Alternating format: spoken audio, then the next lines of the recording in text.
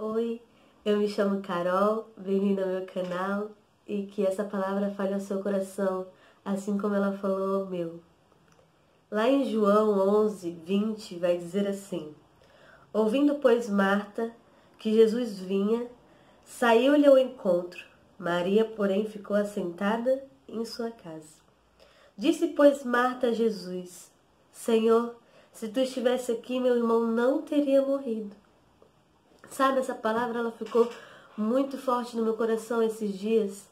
E eu fiquei pensando como nós seres humanos temos dificuldade de entender que tudo está no controle de Deus.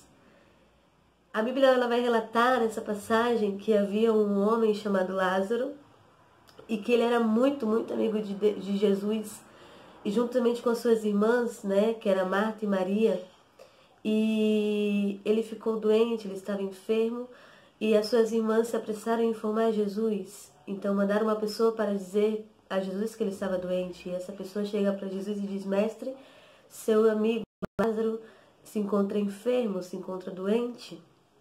E Jesus, com toda essa sabedoria, com toda a sua graça,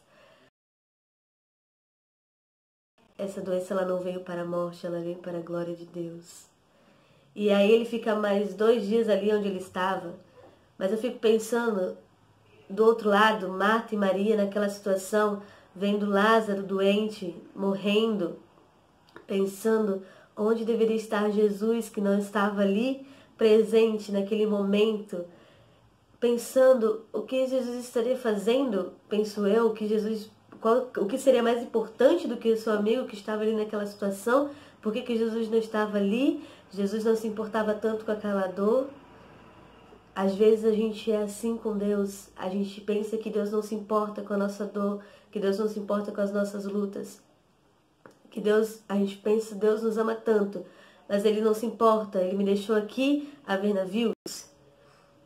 E aí passa-se um tempo, Jesus chega naquele local, Lázaro, seu amigo, já está morto. E Maria corre, Marta corre ao seu encontro e fala: Mestre, se tu estivesse aqui, meu irmão com certeza não teria morrido. Sabe, às vezes Deus ele quer fazer algo a mais na nossa vida que a gente não entende. O milagre que Deus quer fazer na nossa vida é maior do que a gente pensa. Aí a gente pensa, Senhor, tu não se importa comigo, tu não se importa com a minha dor, tu me deixou aqui sozinho. Mas Deus tem algo para nós muito maior do que nós imaginamos. E aí Jesus chega naquele local e diz que Lázaro vai ressuscitar. E eu acho engraçado é que Marta ela fala, sim, eu sei, ele vai ressuscitar quando nós todos ressuscitarmos, quando for a volta de Jesus. E não, ela não tinha entendido, mas o milagre iria acontecer. Para ela já parecia impossível, para ela já não parecia mais ter jeito, para ela parecia que Jesus tinha abandonado ela na pior situação. Mas não, Deus queria fazer um milagre muito maior na vida deles. E aí Jesus pede para que eles retirem a pedra e chama Lázaro para fora. Chama Lázaro para a vida. Chama Lázaro para um milagre que é relatado por tantos na Bíblia. E aí naquele momento eu fico pensando a cabeça de Marta e de Maria, que outrora poderia estar pensando onde é que está aquele amigo que dizia ser amigo, nosso amigo, e nos deixou aqui no momento de luto. Às vezes a gente pensa, Senhor, tu me abandonou. Eu estou aqui no, no meu momento de luto. Eu estou aqui no meu momento de dificuldade. A tempestade está vindo, está grande. É difícil, eu não vou conseguir. Parece que tu me abandonou. Mas Deus ele ainda está olhando por nós. Ele não nos abandonou o milagre que vai vir vai ser muito maior do que nós pensamos, do que nós imaginamos. E às vezes a gente pensa em tentar ajudar a Deus. Senhor, faz assim, faça com que aconteça assim. O milagre pode ser assim, cura, cura. Mas Deus quer ressuscitar. Ele não quer curar. Ele quer ressuscitar, ele quer um milagre maior.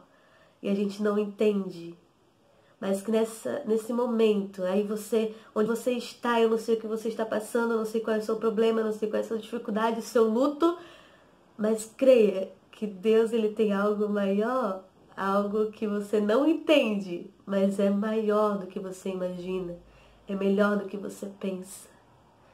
que Deus tenha falado ao seu coração nesse momento. Pode parecer que tudo está difícil, pode parecer que não, não tem mais jeito, pode parecer que o seu problema já está encerrado, não tem mais o que fazer. Mas Deus tem algo maior para você.